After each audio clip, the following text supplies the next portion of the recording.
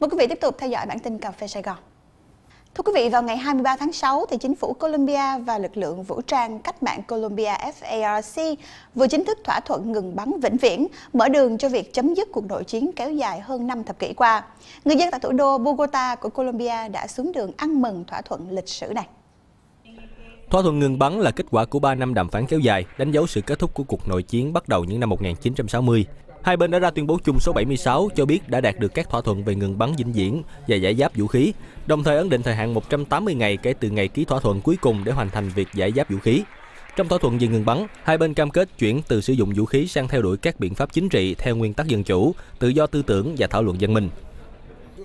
Đây là một ngày lịch sử với đất nước chúng ta. Sau 50 năm của đối đầu, thương vong và đau khổ, chúng ta đã đạt được sự kết thúc chính thức cho cuộc chiến với FARC. Tôi tin rằng chúng tôi sẽ ăn mừng một khoảnh khắc thiêng liêng khác trong tương lai gần. Chúng tôi đã rất gần với hiệp ước hòa bình cuối cùng. Hôm nay có thể là ngày cuối cùng của chiến tranh.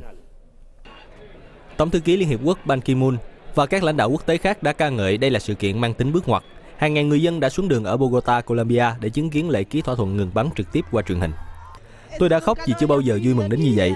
Chúng tôi còn có nhiều việc phải làm trong tương lai. Nó không dễ dàng nhưng chúng tôi phải làm. Những người trẻ như tôi được sống trong kỷ nguyên hòa bình. Chúng tôi có nghĩa vụ phải cải thiện đất nước và chữa lành các vết thương mà cuộc nội chiến đã mang đến. Cuộc xung đột Colombia bắt đầu vào năm 1964 để phản đối sự thiếu dân chủ và phát triển kinh tế không đồng đều giữa các vùng khác nhau. Hơn 220.000 người đã thiệt mạng và 7 triệu người đã phải bỏ xứ đi nơi khác. Nhiều tháng sau vụ bê bối khí thải hồi tháng 9 năm ngoái, thì Volkswagen đã đồng ý chi hơn 10 tỷ đô la để bồi thường cho gần 500.000 chủ xe bị ảnh hưởng bởi phần mềm gian lận thông số khí thải ở Mỹ. Theo đó, mỗi chủ xe chỉ nhận được khoản bồi thường trung bình 5.000 đô la Mỹ cùng với giá trị của chiếc xe ở thời điểm tháng 9 2015. Giá trị của vụ bồi thường ước tính ở khoảng 10,3 tỷ đô la Mỹ. Đồng thời, Volkswagen cũng sẽ nỗ lực phát triển phương tiện không khí thải và giới thiệu một chương trình chống ô nhiễm không khí. Tuy nhiên, con số 10,3 tỷ đô la Mỹ không bao gồm phí môi trường, mà sẽ khiến chi phí cho vụ dàn xếp tăng cao hơn nữa. Tháng 9 năm 2015, Volkswagen chính thức thừa nhận đã cài đặt các phần mềm gian lận vào hơn 11 triệu chiếc xe, dẫn đến lệch kết quả trong các cuộc kiểm tra khí thải. Tại châu Âu, tập đoàn này đã phải bỏ ra 16,2 tỷ euro để dàn xếp vụ bê bối. Trong đó, chỉ tính riêng chi phí pháp lý đã là 7 tỷ euro. Cầu trượt là loại hình vui chơi thường thấy ở các khu công viên, kể cả công viên nước. Nhưng mới đây tại Los Angeles, Mỹ, thì một cầu trượt nằm ở độ cao 300m đã trở thành điểm vui chơi cảm giác mạnh đặc biệt thú vị đối với du khách tại đây. Cầu trượt mặt kính Skyline nằm ở độ cao 300m, kéo dài qua 3 tầng lầu 69 và 70 của tòa nhà US Bank Tower 73 tầng.